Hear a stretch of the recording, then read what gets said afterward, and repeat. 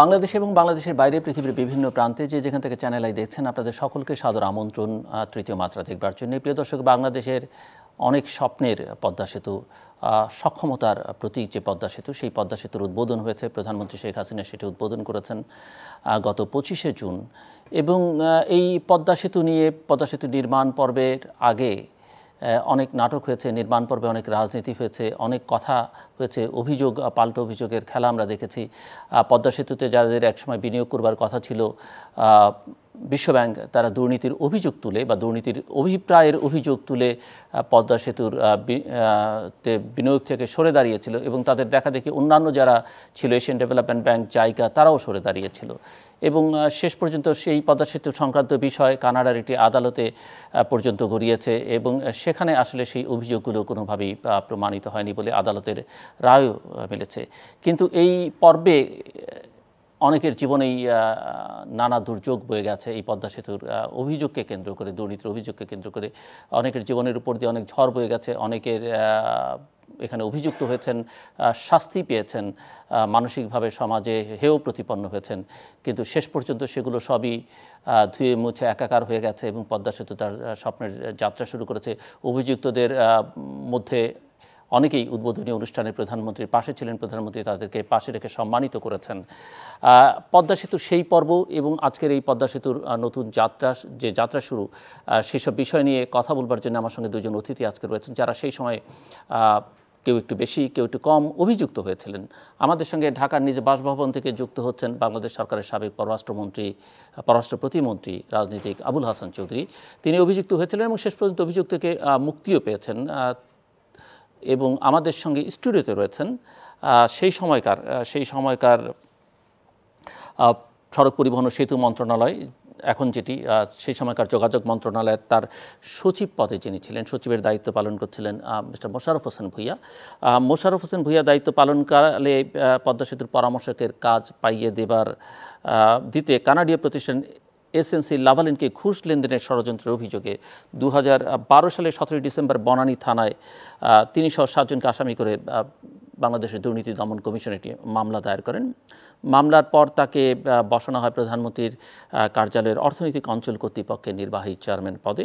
এরপর বিশ্বব্যাংকের শর্ত মেনে শর্ত মেনে মোশারফ হোসেনকে ছুটিতেও পাঠানো হয়েছিল বিশ্বব্যাংকের চাপে এবং ছুটিতে থাকা অবস্থায় অর্থনৈতিক অঞ্চল কর্তৃপক্ষের নির্বাহী চেয়ারম্যানের পদ থেকেও তাকে অপসারণ করা হয়।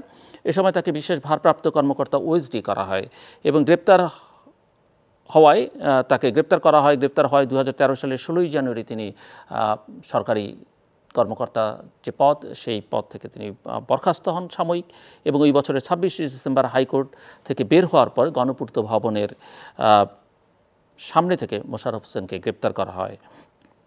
দু হাজার তেরো সালের পাঁচ ফেব্রুয়ারি জামিন পান মিস্টার মোশাররফ হোসেন ভুইয়া। পরবর্তীতে দুর্নীতির অভিযোগ প্রমাণিত না হয়, তাকে আবারও চাকরিতে ফিরিয়ে নেওয়া হয়। মোশারফ হোসেন ভুইয়া দু হাজার চোদ্দ সালের ছাব্বিশ অক্টোবর শিল্প মন্ত্রণালয়ের সচিব পদে যোগ দেন। দু হাজার ষোলো সালের এগারোই এপ্রিল সিনিয়র সচিব হন তিনি এবং গত বছরের তিরিশ জন মোশারফ হোসেনের অবসরোত্তর ছুটিতে যাবার কথা ছিল। পিআর পিআরএল কিন্তু পিআরএল বাতিল করে সরকার তাকে এক বছরের চুক্তিতে শিল্প মন্ত্রণালয়ের সিনিয়র সিনিয়র সচিব হিসেবে নিয়োগ দেন এবং দু হাজার আঠারো সালের তিন জানুয়ারি তিনি জাতীয় রাজস্ব বোর্ডের চেয়ারম্যান হিসেবে নিয়োগ পান। এছাড়া তিনি বিমান বাংলাদেশ এয়ারলাইন্সের পরিচালক এবং পরে তিনি, অর্থাৎ এখন তিনি জার্মানিতে বাংলাদেশের রাষ্ট্রদূত হিসেবে দায়িত্ব পালন করছেন। আমি একটু লম্বা ইতিহাস বললাম ইতিহাসটা বলায় হয়তো বোঝা যাবে যে কোন পরিস্থিতির মধ্যে দিয়ে গেছেন এবং প্রধানমন্ত্রী যেদিন পদ্মা সেতুর উদ্বোধন করেন, সেদিন প্রধানমন্ত্রীর পাশেই তিনি ছিলেন। বলা যেতে পারে প্রধানমন্ত্রী তাকে সম্মানিত করেছেন পুরস্কৃত করেছেন এর মধ্য দিয়ে জাতির সামনে।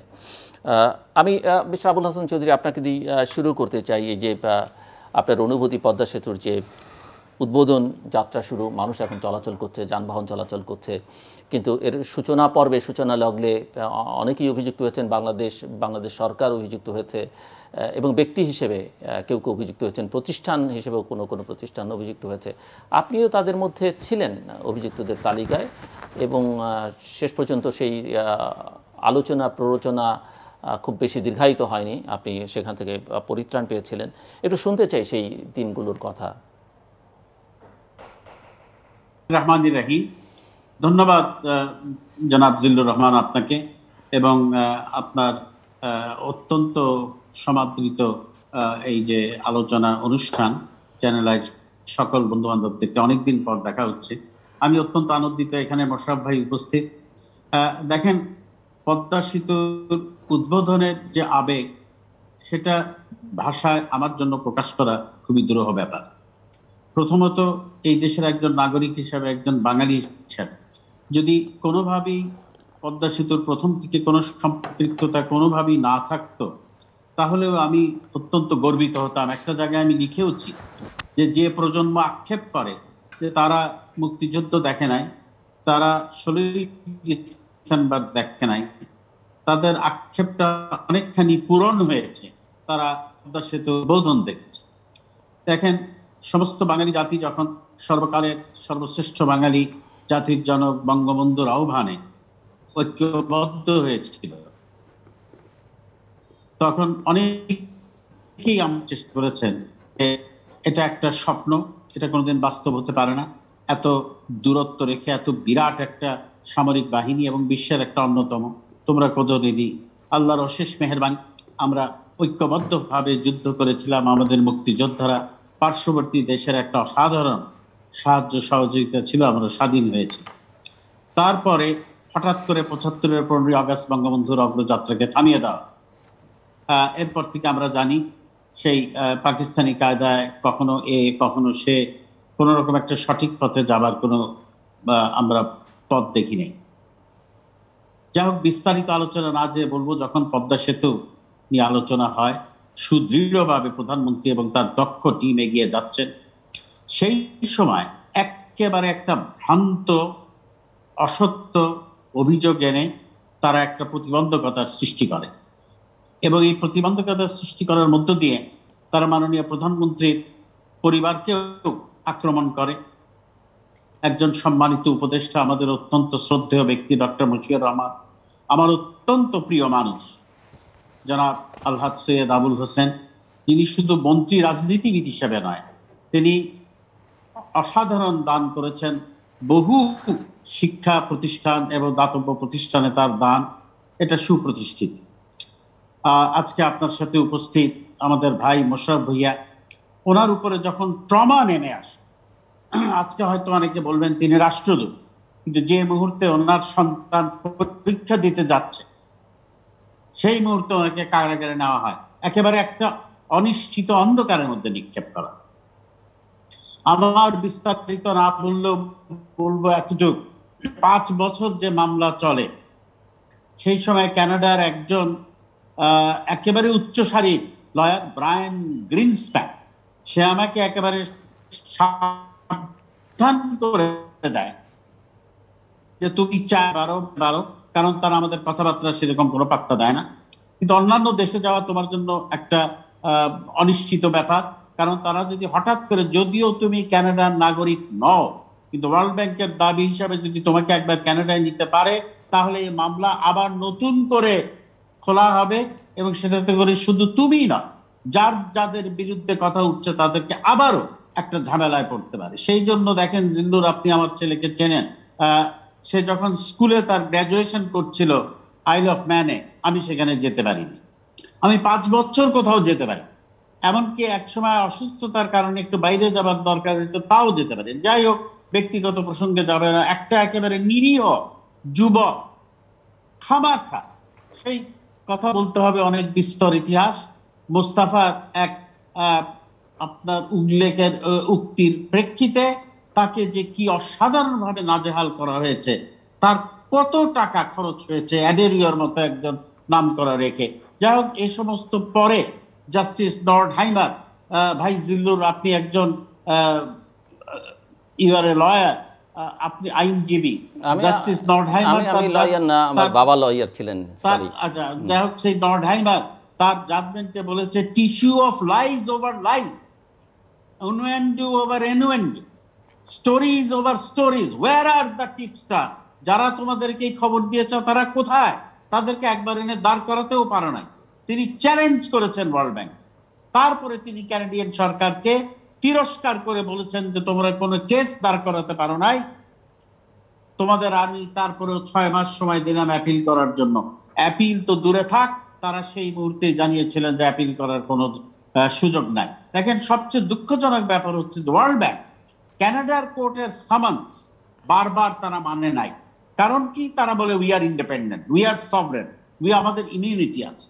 এখন এই যে বহু বছর আগে আমেরিকা এবং ইংল্যান্ডে নার্ভাস শক বলে একটা জিনিস আছে। সেই নার্ভাস শক যদি কাউর হয় সেটার ব্যাপারেও রিকাভার করা যায়। তো এই যে এতগুলো লোক মাননীয় প্রধানমন্ত্রীর আহ, পরিবারের অনেক সদস্য আমি সেই নাম এখন উল্লেখ করব না। তারপরে আমি একটু আগে বলেছি আলহাদ সৈয়দ আবুল হোসেন মুর্শিদ রহমান সাহেব ভাই ডক্টর জনাব মোশারফ ভুইয়া জুলফিকারের কথা বললাম আমার পরিবার। হোয়াট অ্যাবাউট আস এবং সেই সময় এক চিঠিয়া ভাবে আপনার পত্র পত্রিকায় নানাভাবে লেখা হলো। তবে এখানে আমি ধন্যবাদ জানাব। উই ক্যানট ফরগেট আপনার দুইটা অনুষ্ঠানে একটা অনুষ্ঠান তো আমার ক্লিয়ারলি মনে আছে। আপনি বলেছেন যে আবুল হাসান চৌধুরী সম্বন্ধে এরকম আমরা চিন্তাও করতে পারি না। আর আপনার সাথে বোধহয় হাফিজ সাহেব ছিলেন। আরেকটা অনুষ্ঠানে আহ, বিখ্যাত সম্মানিত আহ, মরহুম সাংবাদিক জনাব এ বি এম মুসা আহ, পক্ষে লিখেছেন মরহুম পীর হাবিব। বঙ্গবীর কাদের সিদ্দিকী মোজাম্মেল বাবু। তোফেল ভাই একটা ইন্টারভিউতে বলেছেন নঈম নিজাম অনেক লিখেছেন। আমি এদের কথা স্মরণ করতে চাই এই জন্য যে অগণিত জলস্রোতের মতো জনস্রোত, এই সমস্ত অ্যাকিউজিশন যখন আসছিল, তা আমার, তারা আমার বাড়ি আর অফিস ঘিরে ফেলল। নর্ডহাইমারের জাজমেন্টের পর কিন্তু খুব সমানে ভিড় হইতো আমার বাড়ি এবং অফিসে মাননীয় প্রধানমন্ত্রী ওয়ার্ল্ড ব্যাংকের এইরকম একটা আপনার মানে যুক্তিহীন, একেবারে কলুষিত একটা পদক্ষেপের ভিত্তিতে উনি যে দৃঢ়তা দেখিয়েছেন, এটা পৃথিবীতে নজিরবিহীন। এবং সেই দৃঢ়তা, প্রত্যয় এবং ইমানের জোরে বলিয়ান, বলিষ্ঠ হয়ে আজকে আমরা পদ্মাবৃত এটা শুধু এই সমস্ত ওয়ার্ল্ড ব্যাংকের গালে চপটাঘাত নয়, এটা প্রমাণ করেছে বাঙালি আবার করে যে মুহূর্তে আমরা সুবর্ণ জয়ন্তী পালন করছি জাতির জনকের একশো এক বছর জন্মবার্ষিকী পালন করছি, এর থেকে একটা সুযোগ্য উপহার আর হতে পারে না। এবং এটা এটা যতদিন বাংলাদেশ থাকবে এবং ইনশাল্লাহ অনেক দিন থাকবে, এটা একটা রূপকথায় পরিণত হবে আমি মনে করি। আর তাছাড়াও আপনারা কয়েকদিন ধরে যে আলোচনা শুনছেন টেকনোলজিক্যাল দিক, এটার যে অসাধারণ, আমি তো মনে করি এই পদ্মা ব্রিজকে ঘিরে টেকনোলজিক্যাল বিশ্ববিদ্যালয় হবে, জানার জন্য, বোঝার জন্য যে এরকম একটা প্রতিকূল অবস্থায় অ্যামাজনের থেকেও অত্যন্ত আপনার ডিফিকাল্ট একটা সেতু নির্মাণ করার যে সমস্ত, যেখান চোদ্দ তলা বিশিষ্ট যে সমস্ত আপনার ই দাঁড় করা হয়েছে, আপনার স্তম্ভ, এগুলো তো আমরা সাধারণ কারণ আমাদের বালি মাটি, এগুলো অনেক কিছু দিক আছে। সেদিক থেকে একটা অনন্য, সাধারণ আপনার পদক্ষেপ হয়েছে। এবং আমাদের সকলের জন্য গর্বের। আমি আরও শুনব আপনার কাছ থেকে পরবর্তী পর্যায়ে। মিস্টার মোশারফ হোসেন ভুইয়া আমি আসলে সেই সময়ের আপনার কোনো লজিক্যাল বর্ণনাটা দিয়েছি আপনি কোথায় ছিলেন কীভাবে ছিলেন? এটা আপনার কাছ থেকে শুনতে চাই পুরো কাহিনীটা একটু যদি এবং আপনার কাছ থেকে মানে আপনার সেই সময়ের মানসিক অবস্থা পরিস্থিতির মধ্য দিয়ে যে গেছেন এবং আজকে সেটি বাস্তবায়িত হয়েছে। এবং আমি বলব যে জানি না কতটা সম্মান পুনরুদ্ধার করা হয়েছে বাট সম্মানিত হয়েছেন। আমি বলব যে সকল দিক থেকেই প্রধানমন্ত্রী চেষ্টা করেছেন সেটি ফেরত দেবার, সেই কষ্টকে লাঘব করবার। আপনার প্রথমেই আমি চ্যানেল আইয়ের তৃতীয় মাত্রার দর্শকদের শুভেচ্ছা জানাচ্ছি এবং আপনাকে ধন্যবাদ জানাচ্ছি আমাকে এখানে আমন্ত্রণ জানানোর জন্য। আপনি ঠিকই বলেছেন যে পদ্মা সেতু স্বপ্নের সেতু গর্বের আপনি বইও লিখেছেন বইটি আপনার হ্যাঁ, সামনে আছে আজ এটি বাস্তবায়িত হয়েছে। এটি আমাদের বলতে গেলে বিজয়ের সোপান বাংলাদেশের বিজয়ের সোপান। আমি আরেকটা কথা বলি সবসময় কারণ আমি টেলিভিশনে কথাবার্তা কিন্তু বলছি এই পদ্মা সেতু নিয়ে। দুই হাজার এগারো সনের সেপ্টেম্বরের পর থেকেই। অর্থাৎ ওই সময়টায় আমি লক্ষ্য করেছি আমি যখন তখনও কিন্তু মামলাও হয় নাই তারপরে পদ্মা সেতুর ঋণ প্রত্যাহারও হয় নাই। শুধুমাত্র মিডিয়া জানতে পেরেছে যে বিশ্বব্যাংক অভিযোগ করেছে যে এখানে দুর্নীতি হয়েছে। তখন দুর্নীতির ষড়যন্ত্রের কথা বলা হইতো না যে দুর্নীতি হয়েছে। এবং ইতিমধ্যে আরেকটা বিষয় হয়েছে যে কানাডিয়ান রয়্যাল মাউন্টেড পুলিশ ওদের কাছে বিশ্বব্যাংক নালিশ করেছে এসএনসি লাভালিনের বিরুদ্ধে। যেই কোম্পানিটি আমাদের দেশে সুপারভিশন কনসালটেন্সির জন্য আবেদন করেছিল। তো ওদের বিরুদ্ধে দুর্নীতির ষড়যন্ত্রের অভিযোগ করেছে, সেটি কানাডিয়ান আইনে আছে। তো বাংলাদেশের মিডিয়া এবং আরেকটা জিনিস হয়েছে উইকিলিক্স তখন কিছু বিষয় ফাঁস করেছে। সেইখানে আহ, তৎকালীন যে আমেরিকান অ্যাম্বাসেডর ছিলেন এখানে জেমস মরিয়াটি। মরিয়াটি তার একটি চিঠিতে সৈয়দ আবুল হোসেন সাহেবকে বলেছিলেন লেস দেন অনেস্ট তো এই সব বিষয়ের উপরে এত চাপ ছিল তখন মিডিয়ার আমাদের উপরে। আমি কিছুটা বিবেকের তাড়নায় তখন তো আমার বিরুদ্ধে কোনো অভিযোগ নাই। বিবেকের তাড়না আমি মনে করেছি যে আসল ঘটনাটি পাবলিকের জানা উচিত। আমি গিয়ে যা যা ঘটেছে এগুলি সব বলেছি। কিন্তু তখনকার যারা টকশো করতেন তারা নিজেদেরকে এরকম মনে করতেন যে ওরা সব জানেন। না আপনি কি বলেন এখানে দুর্নীতি হয়েছে টাকা লেনদেন হয়েছে আপনি জানেন না। এগুলি কিন্তু কিছুই মানে সত্য না। আমাদের দেশে অনেক সময় এই ধরনের আলোচনাই হয়। যিনি যে আলোচনা করেন, সেই আলোচনার বিষয়বস্তু সম্পর্কে সঠিক জ্ঞান থাকে না।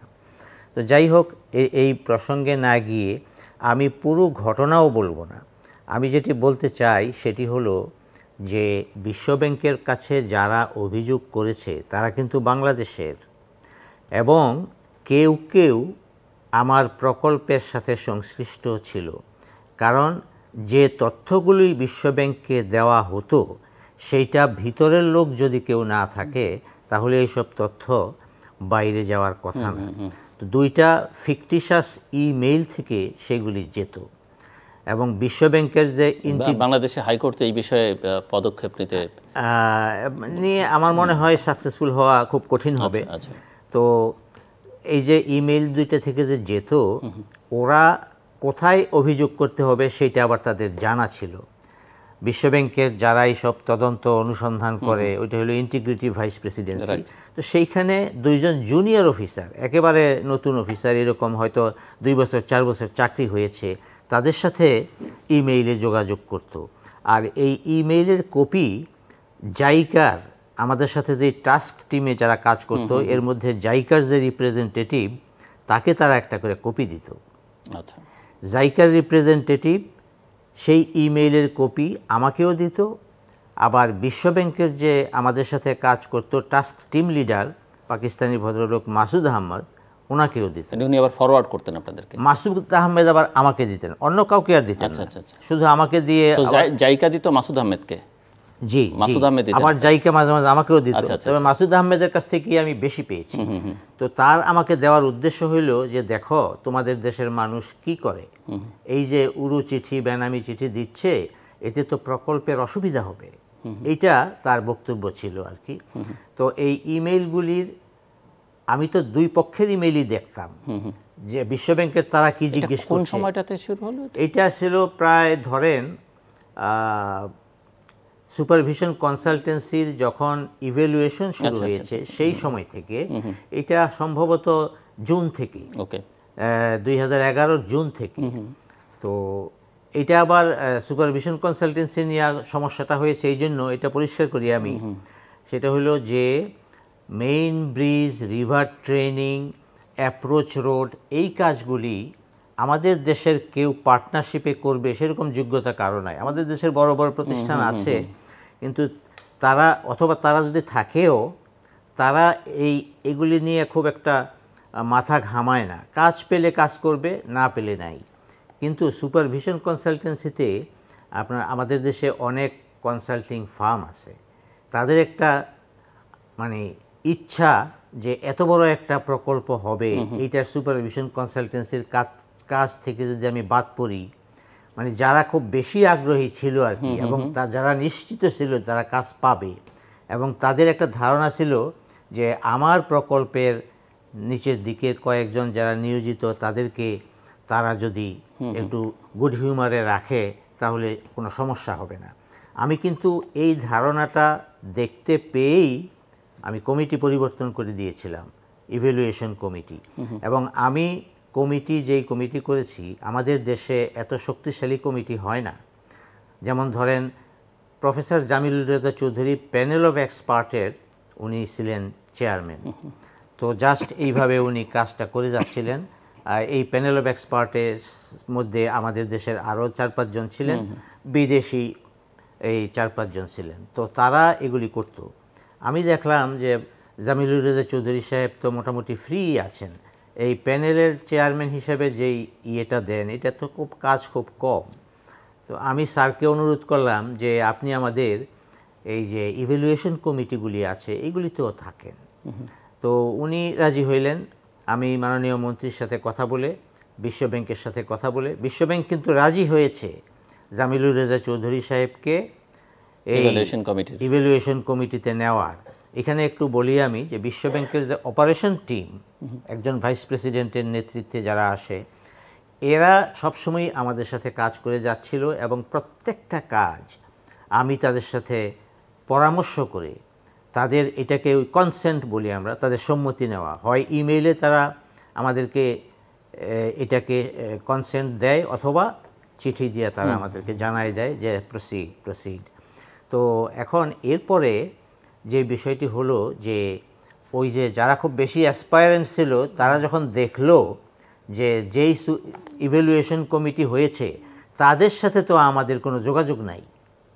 এই ইভ্যালুয়েশন কমিটি আমাদের কথা শুনবে না। সেই জন্যই তারা কিন্তু এই ইমেইলগুলিতে প্রথমে দেখেন একটা দুর্ভাগ্য কাকে বলে আমাদের সে সময় যারা আমরা ছিলাম প্রথমে এরা করেছে। তারপরে এটার সাথে যখন নাকি দেখল কেউ কেউ যে একটা অভিযোগ বিশ্বব্যাংকে গিয়েছে তখন আরও কিছু মহল সোচ্চার হয়েছে যারা সরকারের বিপক্ষের এবং এই প্রকল্পেও যাদের এই কিছু স্টেক আছে। আপনারা হয়তো জানেন যে আরেকটা চীনা কোম্পানিকে আমরা বাদ দিয়েছিলাম এবং সেটি আমরা প্রমাণ করেছিলাম যে তারা মূল ওই কোম্পানিরা না তারা ছিল হংকংয়ে একটা প্রতিষ্ঠান। সেই কোম্পানিটাকে আমরা বাদ দিয়েছিলাম। তো এরাও গিয়ে অভিযোগ করেছে। এরপরে আরও উপরের মহলের কেউ কেউ অভিযোগ করেছে। সেই বিষয়গুলি আমি যেহেতু আমি নিজে একেবারে তথ্য প্রমাণ নাই বলতে পারি না তবে কার্যকারণ অনুসন্ধান করে মাননীয় প্রধানমন্ত্রী বা অন্যরা আরও কারা কারা অভিযোগ করেছে সেটা বলেন। তো এখন এই সমস্যাটা কিন্তু বাংলাদেশের অভিযোগকারীদের থেকেই সৃষ্টি হয়েছে। বিশ্বব্যাংক এই জিনিসটাকে প্রথমেই তারা নিজেরা কিছু করে নাই। আরেকটা জিনিস আমি একটু বলি যে বিশ্বব্যাংকের ইন্টিগ্রিটি ভাইস প্রেসিডেন্সির যে প্রসিডিউর অফ ইনভেস্টিগেশন সেইখানে সমস্যা আছে। তাদের কথা হইল যে তারা যারা অভিযোগকারী টিপস্টার্স এদের কথাই খালি শুনে শুনে তারপরে তারা একটা ঠিকঠাক করে যে হয়তো এই এটা ঠিকই হইতে পারে অথবা এটা ঠিক হইতে পারে না। তো এই তাদের কথা শুনতে মানে শুনতে অভিযুক্তদের সম্পর্কে সঙ্গে তারা আমাদের আমি যখন এই অভিযোগগুলি পাচ্ছিলাম ইমেইলের মাধ্যমে আমি সেইগুলির কপি মাননীয় মন্ত্রীকে দিয়েছি সৈয়দ আবুল হোসেন সাহেবকে। আমি সাবেক অর্থমন্ত্রী ওনাকেও দিয়েছি যে স্যার এই যে দেখেন ইমেইলে আমাদের দেশের দেশপ্রেমিকরা এইসব চিঠি দিচ্ছে। তখন তারা বলছে "এই, এগুলি আমাদের দেশে প্রকল্প বাস্তবায়ন করতে এরকম আহ, উড়ো চিঠি বেনামি চিঠি দেয় ফরগেট ইট তো এইগুলিকে আমরা তখন ওইরকমভাবে সিরিয়াসলি কিন্তু আমি সিরিয়াসলি দেখেছি একবার তখন ডক্টর মশিউর রহমান সাহেবকে ইন্টিগ্রিটি অ্যাডভাইজার নিয়োগ দেওয়া দিয়েছি আমরা। তো একবার ওনাকে নিয়ে আমি ওয়াশিংটন ডিসিতে গিয়েছি। গিয়ে বিশ্বব্যাংকের ভাইস প্রেসিডেন্ট শুধু ওই কাজে যাই নাই আমি অন্য কাজে গিয়ে ওনাকে ভাইস প্রেসিডেন্টের সাথে দেখা করেছি। দেখা করে আমি বললাম যে এই আমার কাছে এরকম ইমেইলের কপি আছে বিশ্বব্যাংক এটা নিয়ে কিছু অনুসন্ধান করছে। তো তাদের অনুসন্ধানের সুবিধা হবে যদি আমার সাথে কিংবা আমার অফিসারদের সাথে এমন কি যারা অপারেশন টিমে বিশ্বব্যাংকের কাজ করছে তাদের সাথে যদি এটা আলোচনা কি করে- ওই ইন্টিগ্রিটি ভাইস প্রেসিডেন্ট কি বললেন? না ইন্টিগ্রিটি ভাইস বিশ্বব্যাংকের ভাইস বিশ্বব্যাংকের যে ইয়ে ভাইস প্রেসিডেন্ট আমাদের অপারেশন যার সাথে আমরা। কাজ করে যাচ্ছি তাদেরকে বললাম যে আপনি ইচ্ছা করলে ইন্টিগ্রিটি ভাইস প্রেসিডেন্টকে বলতে পারেন। না ঠিক আছে তাদের ওয়েতে তারা কাজ করুক। নর্মালি আমরা কোনো উইং এর কাজে আমরা ইন্টারফেয়ার করি না। তো লেট দেম ওয়ার্ক তখন ওই যে টাস্ক টিম লিডার যে মাসুদ আহমেদ আছে সে আবার ইন্টিগ্রিটির যেই জুনিয়র অফিসাররা কাজ করে তাদেরকে জিজ্ঞেস করেছে যে সচিব তো এখানে উপস্থিত আছে? তোমরা যদি চাও সচিবের সাথে একটা মিটিং করতে পারো। মানে আলাপ আলোচনা করো। তো ওরা বলছে যে না আমরা এই পর্যায়ে আলাপ করব না। অর্থাৎ আমি এইখানেই বলি যে বিশ্বব্যাংকের ওই জিনিসটা খুব ফল্টি আচ্ছা এরপরে আপনি আসেন যে তারা মাননীয় প্রধানমন্ত্রীর কাছে এসে যখন কাজটা বন্ধ করে দিয়েছে বন্ধ করার আগে মাননীয় প্রধানমন্ত্রীর কাছে এসে তারা বলেছে যে আমরা তো জুন মাসের জুলাই মাসে কাজ বন্ধ করেছে সেপ্টেম্বরে এসেছে। বলল যে এরকম এখানে দুর্নীতির আমরা গন্ধ পাচ্ছি এবং দুর্নীতির এটা কি বন্ধ করবার পরে? না হ্যাঁ, কাজটা আগে বন্ধ করেছে। তারপরে প্রধানমন্ত্রীর কাছে এসছে। তারপরে প্রধানমন্ত্রী কিন্তু বলছে যে আমি এ পর্যন্ত যে খোঁজ খবর আমার কাছে আছে এখানে কোনো দুর্নীতি হয় নাই।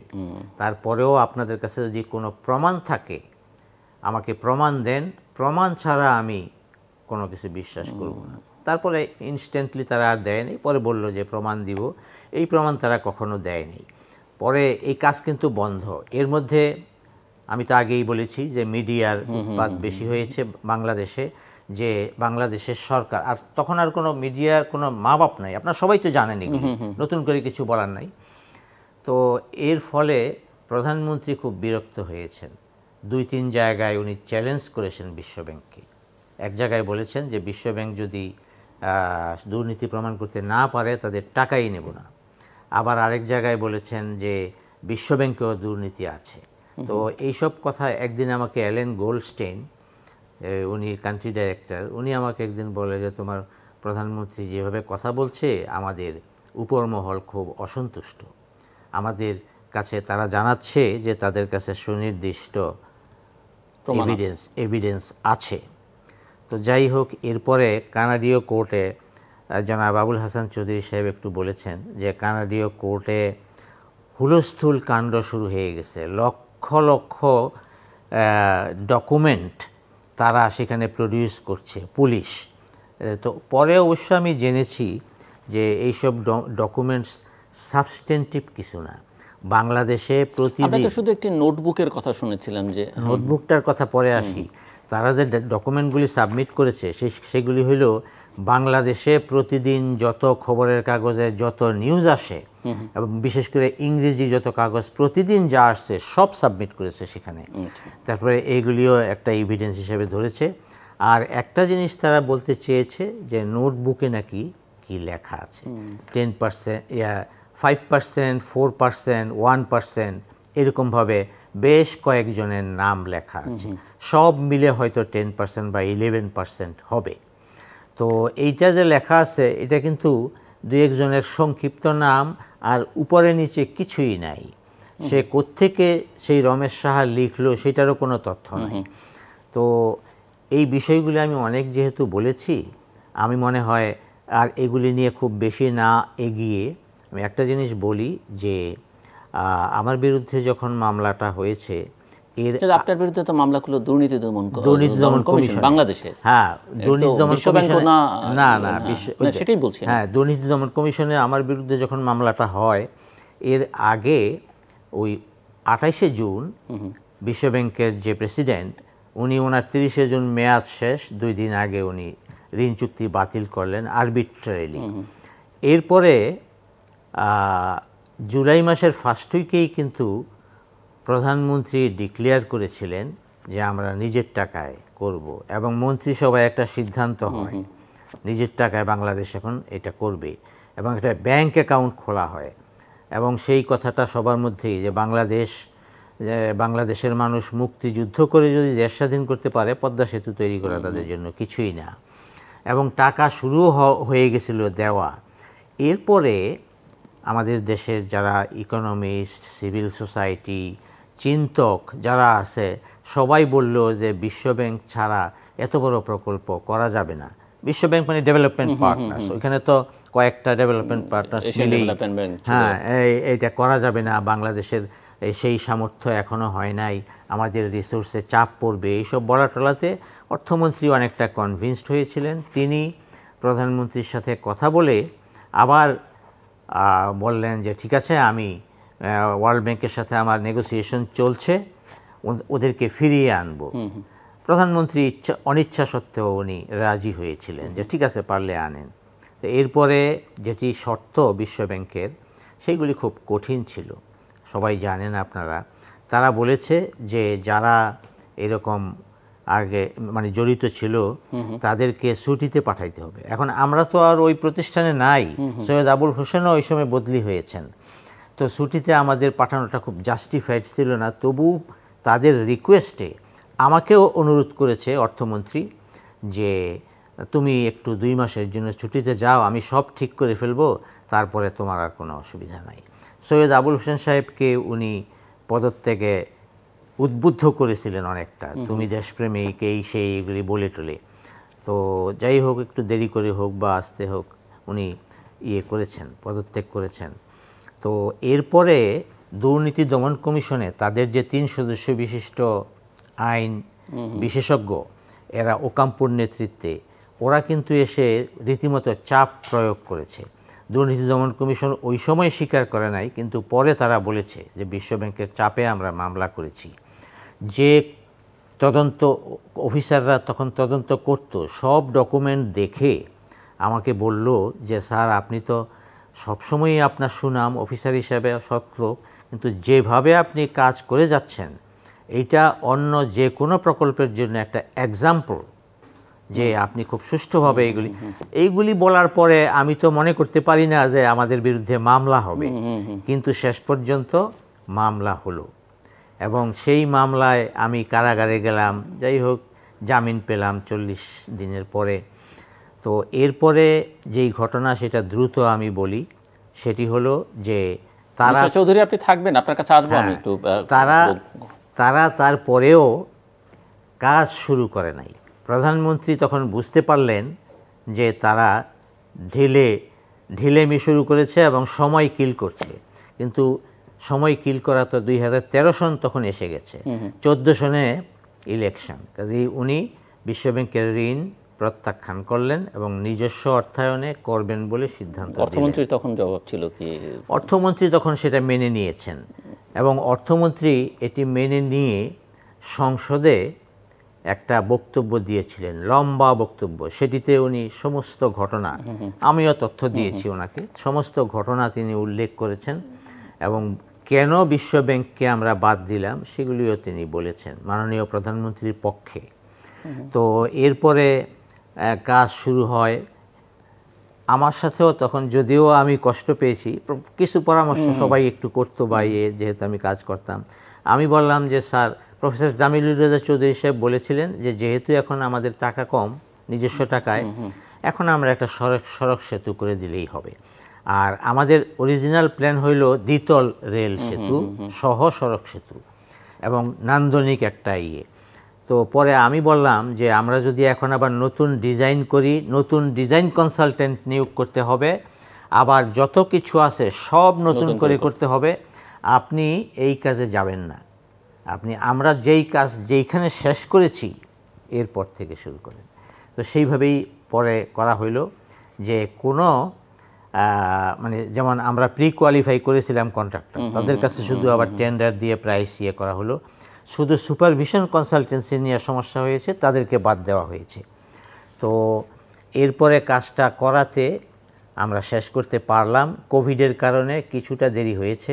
আমি বলব যে যে বিশ্বব্যাংক সহ মানে ডেভেলপমেন্ট পার্টনারদের সহ ইন্টারন্যাশনাল স্ট্যান্ডার্ডে করার যেই প্ল্যানটা ছিল সেটা বাস্তবায়িত হয়েছে।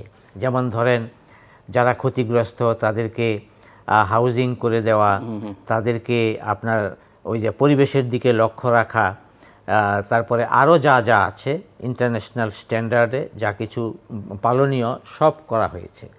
তারপরে প্যানেল অফ এক্সপার্টদের যে পরামর্শ ছিল ডিজাইনে যে স্পেসিফিকেশন দেওয়া হয়েছিল যে ম্যাটেরিয়ালস ব্যবহার করার কথা হয়েছিল সেই বিষয়গুলি সবই করা হয়েছে। তবে রিভার ট্রেনিংয়ের কাজটা এখনও কিছুটা বাকি আছে। এটি সমাপ্ত হলে আমার মনে হয় যে পদ্মা সেতুর আর তেমন কোনো কাজ থাকবে না। এটা এখন যা কিছু হবে ফিনিশিং ইয়ে তো সবচেয়ে বড় কথা হলো মাননীয় প্রধানমন্ত্রীও সেটি বলেন যে, আমরা যে পারি, আমরা যে অর্থনৈতিক দিক দিয়ে এগিয়ে যাচ্ছি, আমাদের যে সামর্থ্য আছে, আমাদের যে সাহস আছে, সেটি কিন্তু সারা বিশ্বে প্রমাণিত হয়েছে। আমি সেই জন্যই বলি যে এটা মাননীয় প্রধানমন্ত্রীর স্বপ্নের সেতু।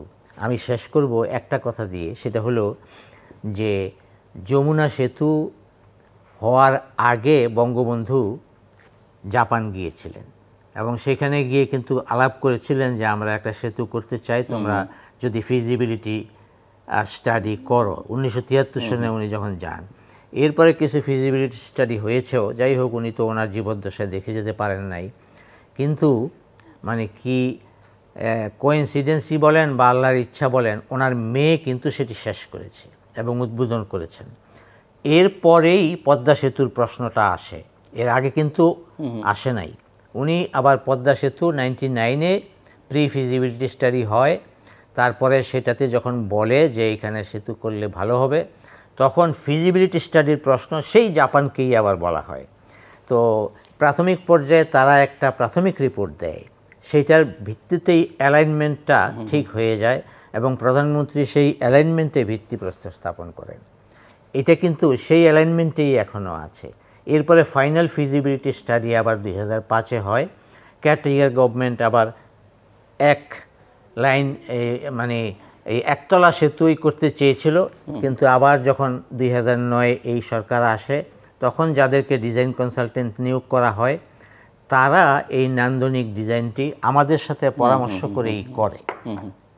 এবং যা যা স্পেসিফিকেশন সব ঠিক করে। আমরা তিন জায়গা থেকে ইঞ্জিনিয়ার নিয়োগ করেছি বাংলাদেশের। সেতু বিভাগ সড়ক বিভাগ এবং রেল বিভাগ। বিভিন্ন জায়গার এদেরকে আমরা ডেপুটেশনে এখানে এনে কাজ করিয়েছি। এখন যেটি হয়েছে পদ্মা সেতু বাস্তবায়নের ফলে আমাদের ইঞ্জিনিয়ারদের দক্ষতা যেমন বেড়েছে আমাদের যারা কনসালটেন্ট এবং যারা এগুলি নিয়ে কাজ করে বিশেষ করে বুয়েটের ইঞ্জিনিয়াররা তাদের অভিজ্ঞতা হয়েছে। আর অ্যাপ্রোচ রোডটা কিন্তু আমাদের দেশি কোম্পানি করেছে। এই যে আব্দুল মোনেম এখন তাদেরও যে ক্রেডেন্সিয়ালে জমা হইল ইন্টারন্যাশনাল কাজ হ্যাঁ এইটা এখন মেগা প্রজেক্টগুলি দেখেন খুব বেশি আর আমাদের বিদেশিদের উপর খুব মুখাপেক্ষী হইতে হবে না। মাচ শুনলাম আপনার কথা আরও আসব একটু খানিকটা শুনতে সময় খুব বেশি নেই। মিস্টার আবুল হাসান চৌধুরী শুনছিলেন আপনি যদি এখানে কিছু যোগ করতে চান? আমি শুধু আপনাদের দুজনের কাছেই প্রশ্ন থাকল মিস্টার মোশারফ হোসেন ভুইয়ার কাছে পরে শুনব। যে নিঃসন্দেহে এটি বাংলাদেশের স্বাধীনতোত্তর বাংলাদেশের সবচেয়ে বড় অর্জন হয়তো। কিন্তু বাংলাদেশের মুক্তিযুদ্ধের সঙ্গে পদ্মা সেতুর কে মিলিয়ে ফেলা এটা কি খুব একটা বেশি হয়ে যায় কি না এই প্রশ্ন কেউ কেউ তোলেন। শুনতে চাই আপনাদের কাছ থেকে দুজনের কাছ থেকে। আবুল হাসান চৌধুরী। কারণ মুক্তিযুদ্ধে তিরিশ লক্ষ মানুষ প্রাণ দিয়েছেন দু লক্ষ মা বোন তাদের যথেষ্ট ত্যাগ স্বীকার করেছেন। এর বাইরেও সাড়ে সাত কোটি বাঙালির কিছু মানুষ বাদ দিয়ে তো সবাই নানাভাবে ভুক্ত ছিলেন কষ্ট করেছেন ত্যাগ স্বীকার করেছেন। একাত্তরে মুক্তিযুদ্ধটা, ভিত্তিটা হচ্ছে বঙ্গবন্ধুর উনিশশো ছেষট্টি সালের ছয় দফা। সেই ছয় দফায় উনি যেটা তুলে ধরেছিলেন, সেটা হচ্ছে অর্থনৈতিকভাবে আমরা যেভাবে বঞ্চিত হয়েছি, নির্যাতিত হয়েছি, এবং রাজনৈতিকভাবেও আমাদের অধিকার থেকে আমরা আমাদের অধিকার পাই নাই।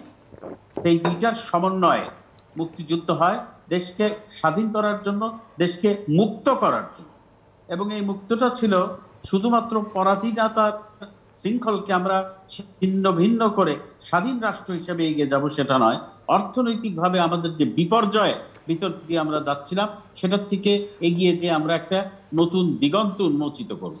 এবং খুব বিস্তারিতভাবে মোশারফ ভাই আপনাকে বলেছেন, বঙ্গবন্ধু সে অল্প সময়ের ভিতরেই জাপানের সাথে আলাপ করেছিলেন যে কীভাবে এই সংযোগ করা যায়। একটু আগেই যেটা আমি উল্লেখ করেছি যে পঁচাত্তরের মর্মান্তিক হত্যাকাণ্ডের কারণে সেই যাত্রা থমকে যায়। তবে আমরা জানি যে আমাদের মাননীয় প্রধানমন্ত্রী এবং তার ছোট বোন শেখ রেহানা বিদেশে থাকার কারণে তারা প্রাণে বেঁচে যান। এটা একটা পোয়েটিক জাস্টিস যে সেই নেত্রীর হাত ধরেই আজকে বঙ্গবন্ধুর স্বপ্নের একটা বিরাট স্তম্ভ যেটা, যে আমরা অর্থনৈতিক উন্নতির দিকে এগিয়ে যাব এবং সেদিক থেকে দেখেন যদি আমরা প্রায় সব সূচকেই শুধুমাত্র দক্ষিণ এশিয়া নাই পৃথিবী আজ আমাদের দিকে তাকিয়ে আছে ইটস এন এক্সাম্পল আজকে যারা সেই সময় একাত্তরের কথা যেহেতু আপনি তুলেছেন, বারবার বলার চেষ্টা করেছে যে আমাদের দেশটা ভায়াবল হবে। কারণ তখনকার আপনার সাড়ে সাত কোটির দেশ, কিন্তু দেশের যে আয়তন, তখনও আমরা ডেন্সলি পপুলেটেড কান্ট্রি ছিলাম এবং সেই কারণে আমরা আমাদের সেরকম কোনো শিল্প নাই, কিছু নেই, আমরা এগিয়ে যেতে পারব না। অথচ আজকে আল্লাহর অশেষ মেহরবানি আমরা এটা প্রমাণ করতে পেরেছি, বাঙালি এটা প্রমাণ করতে পেরেছে যে তারা বিশ্বের কাছে শুধু মাথা উঁচু করে দাঁড়ায় নাই। বিশ্বের অনেক প্রতিষ্ঠান যারা সেদিন আমাদের সম্বন্ধে কুৎসা রচনা করেছেন, তারাও কিন্তু এখন বাংলাদেশের দিকে তাকাচ্ছেন। এবং মার্কিন যুক্তরাষ্ট্রের কিসিঞ্জার নিক্সনের ভূমিকা আমরা জানি। যদিও সেই সময় আপনার কংগ্রেসের বাইপার্টিসান রোল সেই সময় মিডিয়ার রোল সেই সময় কর্পোরেট আমেরিকার রোল এবং আমরা ম্যাডিসন স্কোয়ার গার্ডেনে জানি, শিল্প ক্ষেত্রে, সাংস্কৃতিক ক্ষেত্রে রোল আমাদের সম্পূর্ণ সমর্থ ছিল। এক অর্থে আমি মনে করি যে তখনকার একেবারে বাইপোলার দ্বিখণ্ডিত পৃথিবী প্রায় সব দেশই আমাদের সমর্থনে ছিলেন। যা হোক, সেইটা তখন যখন ভায়াবল স্টেট বা সেই বাস্কেট কেস আজকে একটা জ্বলন্ত উদাহরণ, আজকে আর আবার করে যখন ওয়ার্ল্ড ব্যাংক একটা ষড়যন্ত্র করে এটাকে বন্ধ করে দিল। তারপর সংশয় ছিল যে বাংলাদেশ হয়তো পারবে না অনেকে বলা বলি করার চেষ্টা করেছেন। কিন্তু আজকে আবার করে পদ্মা ব্রিজ অত্যন্ত একটা জটিল ইনফ্রাস্ট্রাকচার সেইটাকে নিয়ে এগিয়ে যে শুভ উদ্বোধনের মাধ্যমে আবার করে বাঙালি যে পারে সেইটা সুপ্রতিষ্ঠিত হলো। পদ্মা সেতু শুধুমাত্র একটা সেতু নয়, এটা একটা ইতিহাস, এটা একটা অঙ্গীকার বাস্তবায়ন এটা একটা রোমাঞ্চকর ঘটনা যেটা অর্থনৈতিকভাবে আইআরআর প্রায় তিরিশ শতাংশের বেশি হবে। তো অর্থনীতিতে যারা বলেন যে এটা আমাদের মানে ক্ষতি করতে পারে, তারা নিশ্চয়ই বুঝবেন যে একটা তিরিশ শতাংশ যখন আইআরআর হয় নেক্সট অ্যাবাউট আপনার বিশ থেকে তিরিশ বছরের ভিতরে এইটার যে খরচ হয়েছে এটা উঠে আসবে। তাছাড়া তো মাল্টিপ্লায়ার এফেক্ট অনেক থাকবে। আজকে পদ্মা সেতু হবার কারণে যে সমস্ত জায়গায় আগে আপনার শিল্প স্থাপনা ছিল না। সেই সমস্ত জায়গায় দেখবেন শিল্প স্থাপনা উঠে আসবে। তৈরি পোশাক ক্ষেত্রে আমরা এখন একেবারে শীর্ষে আছি। আরও এটার অগ্রগতি হবে। কিন্তু এইসব জায়গায় এইসব তৈরি পোশাকের শিল্প উঠে আসবে। দেখেন, আমি আবারও একটু মামলার দিকে ফিরে যাই।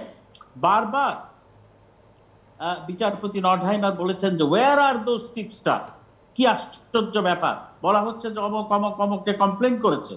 অথচ তাদেরকে কোর্টের সামনে হাজির করা হচ্ছে না। এবং করে নাই। ওয়ার্ল্ড ব্যাংক করবে না আমরা করব না। সেখানে কানাডার আহ, প্রতি আমার অত্যন্ত শ্রদ্ধা আছে। কানাডা একটা অত্যন্ত আপনার সভ্য দেশ। কিন্তু এই পর্যায়ে কানাডা একেবারে একেবারে একটা নত জানু নীতি ফল ফলো করেছে। তারা বিবেক শূন্য হিসাবে ওয়ার্ল্ড ব্যাংকের ডিকটেটে অথবা পার্শ্ববর্তী দেশের ডিকটেটে যা যা করার সেটা করেছে। এই এই কেস এটার কোনো মানে ভিত্তিই ছিল না। এখানে আমি অনেকের কথা বলেছি, আরও একজনের কথা না বললে অন্যায় হবে। যখন খুব সাংঘাতিকভাবে চাপ ওঠে, তখন বিচারপতি শাহাবুদ্দিন চপ্পু, তিনি একটা কথা বলেছিলেন পরবর্তীতে, আমরা জানি। উনি বলেছেন যে, ওনার পিতাও একজন জজ। যে সমস্ত আপনার নথিপত্র সম্মুখে হাজির করা হচ্ছে, তার বিরুদ্ধে তিনি কোন রকম অ্যারেস্ট করতে পারেন না। আল্লাহ সৈয়দ আবুল হোসেনকেও পারেন না, আমাকেও পারেন না, অন্যান্যদেরও পারেন না। তিনি কিন্তু রীতিমতো একটা স্ট্যান্ড নিয়েছেন। আজকে এতদিন পরে হয়তো মনে হবে এটা এমন কিছু না, কিন্তু তখন কিন্তু জোয়ার ছিল অন্যদিকে আমি খুবই খুশি হয়েছি যে সংসদে মাত্র কয়েকদিন আগে মাননীয় আইনমন্ত্রী ব্যারিস্টার আনিসুল হক খুব সুন্দরভাবে এই সমস্ত জিনিস তুলে ধরেছে আরও খুব আনন্দিত হয়েছি, গর্বিত হয়েছি যে মাননীয় প্রধানমন্ত্রী একজন দক্ষ শীর্ষ আইনজীবীর মতো খুঁটিনাটি বিষয়গুলো সংসদে উপস্থাপন করেছেন এবং আপনি জানেন যে সংসদে যখন কিছু আলোচনা হয়, সেটা কিন্তু সংসদের প্রপার্টি আজকে এটা ইতিহাস হয়ে সংসদে থাকবে ওনার সেই বক্তব্য।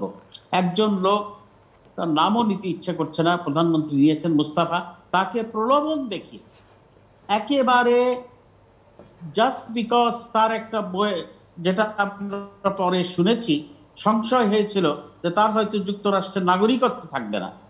সেই জন্য সে একাধারে কতগুলো একেবারে বানোয়াট কথা বলল এবং সেগুলোর ভিত্তিতে হলো, যা হোক, অনেকদিন কষ্ট আমাদের সকলের করতে হয়েছে। কোনো এককভাবে কাউন না। এবং যেটা একটু আগেই বলেছি, ব্যক্তিগতভাবে তো আপনাকে আমার উদাহরণ দিলাম, একটা একেবারে বেকসুর লোক, বাচ্চা মানুষ আমাদের থেকে অনেক কম বয়স। তাকে দীর্ঘদিন এই মামলার সাথে জড়িত করে একটা বিরাট অঙ্ক তার লয়ার ছিল অ্যাডারিও তাকে এটা করতে হয়েছে। কিন্তু তার এই মামলার মধ্য দিয়ে জুলফিকারের বিরুদ্ধে যে সে একেবারে চুপ ছিল, সেও তো প্রলোভনে নথি স্বীকার করতে না। এবং নথি স্বীকার করলে হয়তো আর দেশে ফিরতে পারতো না। দেশে ওখানে একটা বীজ হয়ে বসে থাকতো যাই হোক, এইটা অনেকের সামনে অনেক চ্যালেঞ্জের মধ্যে দিয়ে আমরা এগিয়ে গেছি।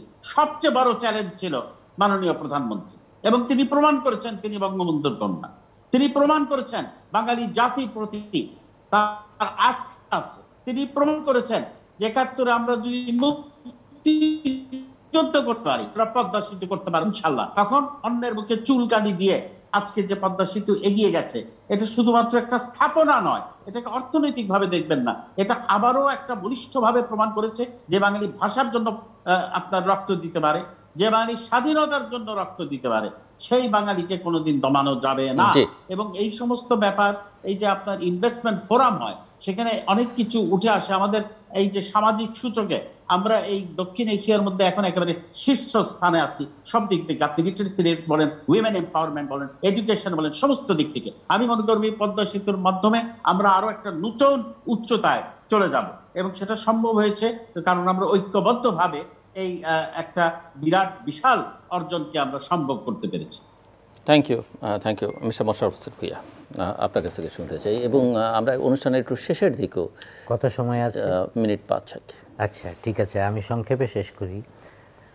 জনাব আবুল হাসান চৌধুরী মিনিটও কথা বলতে পারেন জনাব আবুল হাসান চৌধুরীর কথার সূত্র ধরে আমি যেটি বলতে চাই যে বিশ্বব্যাংকের একটা ভুল যেটি করেছে সেটি হলো যে এই ইন্টিগ্রিটির জুনিয়র অফিসারদের কথা শুনে অথবা আপনি বলেন যে বাংলাদেশের অন্যান্য লোক যারাই হয় তাদের কথা শুনে এত বড় একটা বড় প্রকল্প থেকে তারা সরে গিয়েছে। তাদের হয়তো তখন ধারণা হয়েছে যে এটা আর হবে না। আমরা যদি করি তাইলে পরে আবার আসব। আর তো কিন্তু যেহেতু মাননীয় প্রধানমন্ত্রীর জেদ যে উনি এটা তৈরি করবেনই এবং তার যেই আত্মবিশ্বাস সেটিও এখানে কাজ করেছে, সেতুটি হয়েছে। যে মামলাটি বিশ্বব্যাংক কানাডীয় কোর্টে করেছে, এটা কিন্তু পৃথিবীতে আর কোনো নজির নাই। সাধারণত যেটি হয়, সেটি হলো যে বিশ্বব্যাংকের এই তদন্ত, যেটাকে আমরা ইন্টিগ্রিটি বলি ইন্টিগ্রিটি ভাইস প্রেসিডেন্সি তারা তদন্ত করে যদি কোনো ত্রুটি বা এরকম দুর্নীতির ষড়যন্ত্র এটা তো দুর্নীতি হয়ই নাই ষড়যন্ত্র হয়েছে বলছে। কারণ হলো তারা বলেছে যে টাকা পয়সাও তো আসে নাই। এমনকি আমরা কোনো কোম্পানিকে কাজও দেই নাই সিলেকশনও করি নাই। এই পর্যায়ে কিন্তু তারা বলছে ওই ইভ্যালুয়েশন পর্যায়েই মানে কতটা অদক্ষ বিশ্বব্যাংকের ওই কর্মচারীগুলি মানে অফিসারগুলি যে তারা এরকমভাবে কাজ করেছে। তো এইগুলি করার ফলে তারা যে কোর্টে গিয়ে কানাডীয় পুলিশকে গিয়ে যে অভিযোগ করেছে, এইটাও কিন্তু বিশ্বব্যাংক কখনো কোথাও করে নাই। তো এটি কেন করেছে, কার প্ররোচনায় করেছে জনাব আবুল হাসান চৌধুরী সাহেব ঠিকই বলেছেন যে অনেকগুলি মানুষের জীবনে অনেক ক্ষতি হয়েছে। যেমন কানাডি, কানাডার যারা যারা, শুধু উনি একজনের কথা বলছেন, জুলফিকার ভুইয়া, আমি আরেকজনের কথা বলি, ইসমাইল এবং অন্যদের খবর আমি জানি না। মোহাম্মদ ইসমাইল খুব ভালো ইঞ্জিনিয়ার এবং সে কিন্তু আগেই এই প্রকল্প থেকে সরে গিয়েছিল মানে তাকে সরিয়ে দেওয়া হয়েছিল। সেই যে রমেশ শাহ রমেশ শাহই কিন্তু ষড়যন্ত্র করে ইসমাইলকে আগেই সরিয়ে দিয়েছিল। তো ইসমাইলের বিরুদ্ধেও হইল রমেশ শাহের বিরুদ্ধেও হইল তাদের অনেক ক্ষতি হয়েছে আর্থিকভাবে। আর আমাদের বিশেষ করে আমার তো পারিবারিকভাবে আমি ওই সময়টায় আমার দুঃসহ একটা জীবন গিয়েছে। আর সৈয়দ আবুল হোসেন সাহেব তিনি দুর্নীতির জন্য এরেস্ট হননি কিংবা তাকে মামলাও দেওয়া হয়নি যেটি জনাব আবুল হাসান চৌধুরীকে দেওয়া হয় নাই ডক্টর মশিউর রহমানকে দেওয়া হয় নাই। কিন্তু আমার যে ইয়ে সেটা তার কষ্টভোগ তারাও করেছেন। তো সেই বিষয়গুলিতে এই পরবর্তী পর্যায়ে বিশ্বব্যাংকের তো সমস্ত উপরের লেভেলের বদল হয়ে গেছে। এমনকি এই প্রকল্পের সাথে যারা জড়িত ছিল, কারও পরে আর চাকরিতে ছিলেন না তারা কেউ, তারা চলে গেছে। এরপরে বিশ্বব্যাংক কিন্তু এটা অনুধাবন করতে পেরেছে যে একটা মানে অপ্রতিষ্ঠিত অভিযোগকে বেশি আমল দিয়ে এটাকে বড় করে দেখে আমাদের এত বড় একটা প্রকল্প থেকে বের হয়ে যাওয়া আমাদের ভুল হয়েছে। আর জাপান জাইকা এবং এডিবি এশিয়ান ডেভেলপমেন্ট ব্যাংক ওরা তো এগুলি নিয়ে যখন টানা হেসরা হচ্ছে তখনই আমার সাথে এসে তারা দেখা করেছে। আমি তখনও সচিব সেতু বিভাগের। তখন তারা বলেছে দেখো যেই টানা হেসরা শুরু হয়েছে এই প্রকল্প কিন্তু আমার মনে হয় না যে সহজে এটা আবার আমরা করতে পারব। তো আমরা আমাদের দুই পক্ষ একসাথে এসছে আমার কাছে। আমরা নিশ্চিতভাবে বিশ্বাস করি এ পর্যন্ত যা হয়েছে সবই ট্রান্সপারেন্ট আমাদের চোখের সামনে হয়েছে। কিন্তু যদি বিশ্বব্যাংক ফিরে যায় আমাদেরও চলে যেতে হবে। কারণ আমরা কো ফাইন্যান্সিয়ার্স সেই জন্য তারা চলে গেছে। এবং দেখেন এরপরে জাইকা কত বড় বড় প্রকল্প নিয়ে এসছে। এডিবি বাংলাদেশে। এটা একমাত্র কারণ তারা দেখেছে যে এই প্রধানমন্ত্রীর যে শক্তি যে সাহস যে আত্মবিশ্বাস এইগুলির মাধ্যমে উনি এরপর থেকে আর কি যে বড় প্রকল্পে দুর্নীতি যেটা কি সে তারা বলে থাকে আর কি ঢালাও দুর্নীতি সেগুলি আর হওয়ার সম্ভাবনা নাই। বাংলাদেশে এই জন্য আমি বলি যে পদ্মা সেতু হলো বড় বড় মেগা প্রকল্প বাস্তবায়নের পথিকৃত এখন যেমন ধরেন আমরা তো তিরিশ হাজার কোটি টাকা দিয়ে এটা শেষ করেছি। এখন কিন্তু এর চেয়ে আরও বড় বড় প্রকল্প আসছে। এটা হলো আপনার থ্রি পয়েন্ট সিক্স বিলিয়নে শেষ হইল। এখন সেভেন বিলিয়ন এইট বিলিয়নের এই আমরা ইউএস ডলার মূল্যের প্রকল্প আমরা বাস্তবায়ন করছি। তো সেই দিক দিয়ে আমি বলব যে এটি আমাদের একটা সামর্থ্যের প্রতীক এবং আমরা গর্বিত। আমার উপর যে সমস্যা হয়েছে আমি সেটিকে ভুলে গিয়েছি। এই জন্য যে এটি আল্লাহর তরফ থেকে একটা পরীক্ষা এসেছিলেন এবং আমি এটাতে সুখী যে আমার কর্তৃপক্ষ বিশেষ করে মাননীয় প্রধানমন্ত্রী বা অন্যান্য কেউ কিন্তু কোনো সময় সন্দেহও করেন নাই যে এখানে কিছু হতে পারে। আর আমার বা আমাদের একটা বড় সেফ গার্ড যে কানাডীয় কোর্ট থেকে এটি ডিসমিস করে দেওয়া হয়েছে। তা না হলে কিন্তু আমাদের দেশের মানুষ এটাকে ভুলে যেত না। এটাকে সবসময়ই বলতো যে কিছু না কিছু হয়েছে বিশ্বব্যাংকের মতো একটা প্রতিষ্ঠান খামাখা কথা বলে না। এরকম কিন্তু ওই সময়ও বলেছে অনেকে বলেছে। সো মিস্টার চৌধুরী আর কিছু যোগ করবেন? আমি শেষ করব। আমার হাতে মিনিট খানেক সময় আছে এক মিনিট। না আমি যেটা বলতে চাই যে মোশারফ ভাইকে আমি অনেকদিন ধরে চিনি। তার এই সাংঘাতিক একটা ট্রমেটিক সময় আমরা তার বন্ধু হিসাবে খুব দুঃখিত হয়েছি এবং এই ব্যাপারেও মাননীয় প্রধানমন্ত্রীকে অভিনন্দন জানাতে হয়। তিনি একেবারে যে সঠিক কাজ সেটি করেছেন যে এই যে একটা বারো আট কথার উপরে তার উপরে যে একটা ঘন অন্ধকার নেমে এসেছিল, আজকে আল্লাহর অশেষ মেহরবানি তিনি অনেক কিছু হয়েছেন বর্তমানে রাষ্ট্রপতি একইভাবে তাদেরকে এই যে সুন্দরভাবে উদ্বোধনের দিনে সৈয়দ আবুল হোসেন এবং তাদেরকে দেখিয়েছেন, এটা দেখেন আমার এখনও মনে আছে, কি চিৎকার করে প্রধানমন্ত্রীর সাথে একটা টক শোতে একটা বিদেশি ওই যে কোয়েশ্চেন টাইম বোধহয় সেটাতে কথা বলছিল। খুব দৃঢ়তার সাথে উনি কিন্তু সৈয়দ আবুল হোসেনকে ডিফেন্ড করেছেন। পদ্মা সিবিএস নানা দিক আছে। হ্যাঁ। নানা দিক আছে নানা দিক আছে। এটা খালি একটা please. মাধ্যমে হ্যাঁ আমি আপনাকে ধন্যবাদ জানাই অভিনন্দন জানাই মোশারফ ভাইকে অভিনন্দন জানাই। যে এই যে যে একটা বিরাট উদ্বোধন হলো এটা নিয়ে আলোচনা করছি। এমনই একটা অত্যন্ত জনপ্রিয় আলোচনার মাধ্যমে আমার এখনও মনে আছে সেই বিকারণেশ্বর স্কুলের পাশ থেকে আপনাদের যাত্রা এবং সেই যাত্রা আজকে বিশ্বব্যাপী। আবার অভিনন্দন ধন্যবাদ দাঁড়াতে। অনেক অনেক ধন্যবাদ মিস্টার আবুল হাসান চৌধুরী এবং মিস্টার মোশারফ হোসেন ভুইয়া। দর্শক কথা হচ্ছিল পদ্মা সেতু নিয়ে এবং পদ্মা সেতুর সূচনা লগলে যে অভিযোগ যে অসম্মান, অপমানের চেষ্টা, সেটি উত্তরে বাংলাদেশ তার স্বপ্নের পদ্মা সেতু করেছে এবং সেই অভিযোগ প্রমাণিত হয়নি, বিদেশি আদালতেই প্রমাণিত হয়নি।